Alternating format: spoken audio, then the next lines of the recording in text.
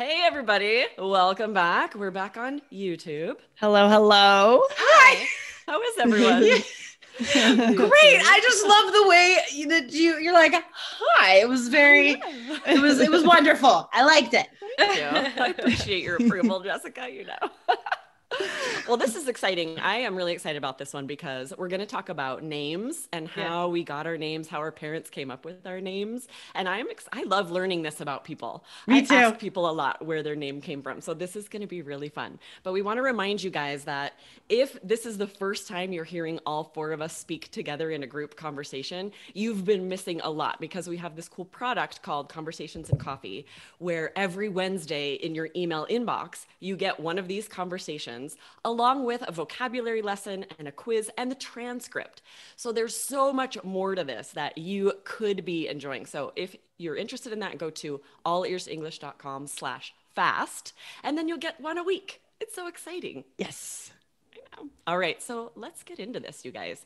Um, let's start with Michelle. Oh. Michelle, where did Yeah. you come from? She looked at her Are face. you she's ready? like, I wasn't Oh. supposed to go first.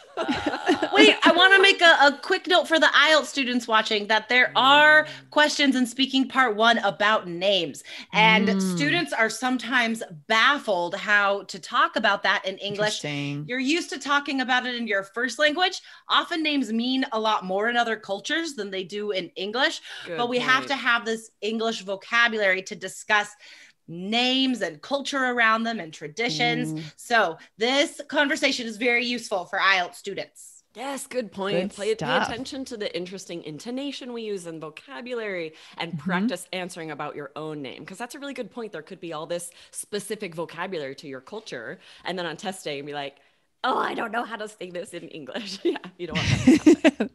For sure. All right, Michelle, we've given Michelle, you you're on the minute there to floor. Ah, I gotta. Still- do. Bye, guys. Um, Look, we gave you so much time to think. I know, Michelle. I know. Well, I was just thinking, oh gosh, I hope I get this right. Um, so my well, because so my so Michelle, it's after um my great grandfather Marcus. Um, Oh. yeah. So that's cool. the M, and then my middle name is Erica, and that this is the one I hope I got right. I think it's for my other great grandfather on the other side, whose name was Eli. So That's cool. yeah.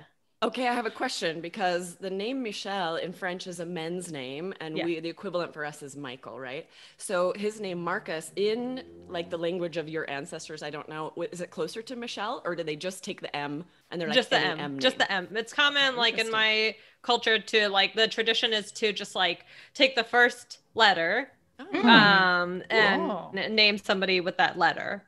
Um, Interesting. So yeah, and you usually, um, I don't know. There's a whole thing like we, like in my culture, we don't name for people who are still living. Ah. has to be someone who's Uh, passed on. Yeah. So I'm Got Jewish. it. So that's like, but although some, there are uh, some sects of Judaism that do name after the living, but not mine. On my side, it would like, it's like you name for people who have passed, like after someone who has passed away, typically. Okay. Is Ah. there like are there specific rules about like the the number you were like firstborn, secondborn, and like who you're you have to be named after? Like, are there any more rules? No, there's, I mean, I don't think that there are like any specific rules. And uh, like, Okay. it's just kind of that's on more of my side of the, you know, because like the Jewish people are from all over. So it's like more my area. It's more just like this first letter um, to name after somebody. Um, but I do Hmm. know other people who like actually name after their living parents or something like that. Um, so it, so it like who named their child after their living parents. So it's kind of interesting. It's all over the place, but um like for my son, we named him like one one of his middle name is after my grandfather, but his first name is just because we liked it. So Breaking So, tradition a little bit. yeah, we broke tradition a little bit. So yeah, that's that's my name. Oh wow. do your do, do either of your names mean anything? Um, I think Think I think Michelle, Michelle. I think anything. Uh, I think it's something about God. I don't know. I think it's like one who's like God or Michelle. I don't know. If you, if you. Google it, something like that. But I'm not sure about Erica. It's so funny. Like our names really are like meaningless mostly, except for the person that they might connect to. Yeah. Right. Well, I think the one Yeah. who was like God comes from Michael in Christianity. Um, Adam, Oh, Michael, the that makes sense. right? And so he Mm. was like because I think be it's lot like something. I think a lot of names that have an el in them are, Mhm. are something with God because it's like elo, Oh, yeah, like that it's was like, like the his- el is Hmm. like a like a word for that's like God. his name. Yeah. Interesting. Oh. I'm learning Yeah. so much. I Lindsay, know. Did I you didn't know that? know a lot of these things. I think parents now. I mean, my parents didn't really think there was no tradition necessarily. I think they just liked the name the name, Lindsay, Yeah. and it was a millennial name, cusp of millennial name. Uh, but I think parents will look up to make sure a, a name doesn't mean something that they want to avoid. Right? I think it's more sure. Or the direction. initials, or the initials. You got to Or make the sure there's initials. nothing. Yes, that's true. Yeah. like a P and a U. Yeah, yeah. Like no, you- like you have to be careful with na- naming a, ch- a child. You Yeah. do. You have to avoid those minefields. Yeah. exactly. Yeah, you do. Oh, actually, I knew a guy in high school. His first name was Justin. His last name was Time. I'm not even joking. Oh, oh my it. God. that was literally his name. my dad always tells a That's story. He knows a girl whose first name was Cindy and her last name was Rella. Cinderella. oh, oh, I love it. That's so Yeah. cute. That is- that's so cute. Yeah, I knew someone in high school named Winter Berry. So we may have these people finding us Oh. on YouTube now. Who knows? Love it. Yes. Parents must you, have been Jessica? hippies. What does your name? Um, the story goes that Jessica was the only name my parents could agree on. They, I did not have a name for some days. You know, How many days? were uh, some some days. I don't know. It like wasn't. they left the hospital and you weren't named yet? No, I think we were still in the hospital because Okay, my mom had a very difficult childbirth Oh, experience and had to okay. stay in the hospital Ooh. for a while. So her and my dad didn't agree about much. You know, they got divorced Oh. later. The signs were there. So Jessica was the only name they could agree on, apparently. But my middle name is Michelle. So Oh, I didn't know that. That's so funny. but um, like you, Lindsay, well, and Michelle, I think the names are so common. I think in all of my classes growing up, there was another Jessica and Jennifer, probably. Oh yeah, it's a Gen X name, big time. totally. Yes. But Lindsay's Yeah. common and Michelle as well. Ah. But Aubrey, I think Yeah. your name is more unique. It's more ours. rare. In fact, Mhm. So my Michelle name- means, or Michael, like you said. Sorry to interrupt. Is who is like God, with a Oh. question mark here. I don't know. because, because that means something different to everyone. Yeah, maybe. totally, Yeah. So it's like, probably. hmm? Yeah, So Aubrey, my your name name was is rare. actually a men's a man's name, a boy's name, Yeah. up until like 1970, at least in the United States. Oh, wow. States. Yeah. So when I was like in high school, know I, was working telemarketing, and if an older gentleman answered, often he'd be like, "My name's Aubrey." I was like, "Weird." Oh, that's weird. Huh. But then it's so interesting how it's totally flipped. It's and flipped. Like my age and younger, you'd never name a boy Aubrey. Yeah. Right? Yeah. And like Ashley too. Remember in Gone with Ashley. the Wind, the guy's name Yeah. was Ashley, and now Sure. it's totally Yeah. a girl's name. or So Lauren. They've just like Uh-huh. flipped. But the way I was named, my parents, there's this 70s classic rock group named Bread. And they had a song called Aubrey that my parents loved when I Oh, was born. So they cool. named me after that song. That's and I what- love awesome. one of my earliest memories, I remember them waking me up and bringing me downstairs because it was on the radio. They didn't have any other way to play music. and they were like playing it for me on the radio, right? They're like, this is the song you were named Oh, I love it. That's so Oh, cute. that's cool. And I still love the song. It's kind it's kind of a ballad. It's really pretty. So Mm. look it gonna up. Everybody it out there, later. Yeah. Aubrey by Bread. Think it's about very you. pretty. It's like a love song. Yeah, it's yeah. That's a, That's, That's a a cool story. story. yeah. I was That's excited cool. about this one. I'm like, Do you have a middle my name? Yes, Anne, which um, I don't think it was a family name or anything. I think my parents just like Aubrey Anne. But sometimes people, in fact, lots of times people will be like, "Oh, you should have gone by Brienne or whatever, something really interesting. I could have combined them."